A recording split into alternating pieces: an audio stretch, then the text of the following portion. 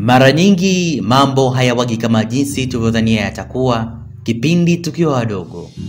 Wengi huishi wakijiona sawa na chumvi kwenye mboga.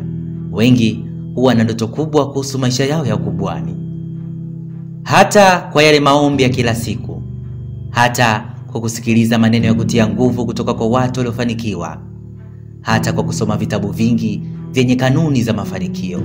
Lakini sikuwahi kuona ukweli wa mambo yatakavyokuwa, kuwa yatakuwa magumu zaidi ya nilivyofikiria awali. Siku zote maamuzi yangu yamekuwa yakiishia katika majuto.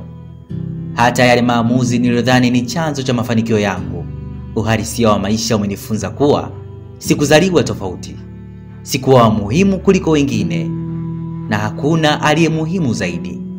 Unapofunga milango yako na kubaki ndani, walimwengu watafungua ya kwao na kutoka. Unapokufa, dunia itaendelea bila kupungukiwa chochote. Leo tarehe 19 ya mwezi wa nne, yakiwa majira ya asubuhi, baada ya kusafiri kwa muda wa siku kumi na mbili, ninakaribia kufika. Mbele yangu ninalitazama kanisa, sauti nzuri za wanakwaya wakiburudisha masikio ya watu wa wazao dhambi zilionyesha utahayari mkubwa wa sherehe. Ni siku ya Jumapili, ni siku yake ya kuzaliwa, pia ni siku ya ndoa yake, ndoa ya mpenzi wangu wa zamani. Siku moja mwanga ukiwa mbali kutokea.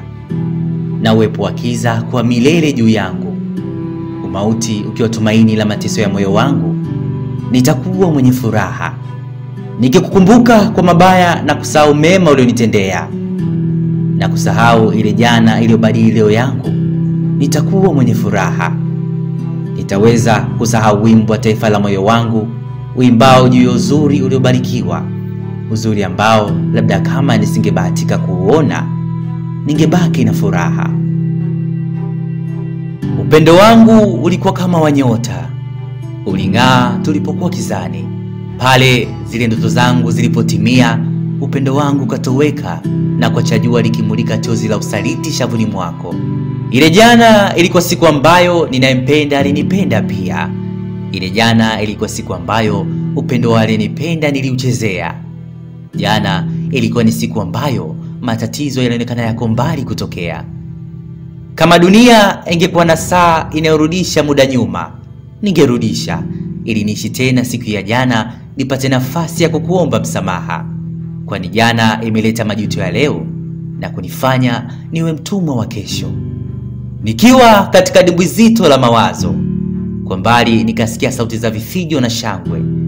Nikasogeza hatua zangu mbele kukukaribia, nipate kukwambia neno ninalotamani kukutamkia, lakini nilikuwa nimechelewa kukwambia nisamehe.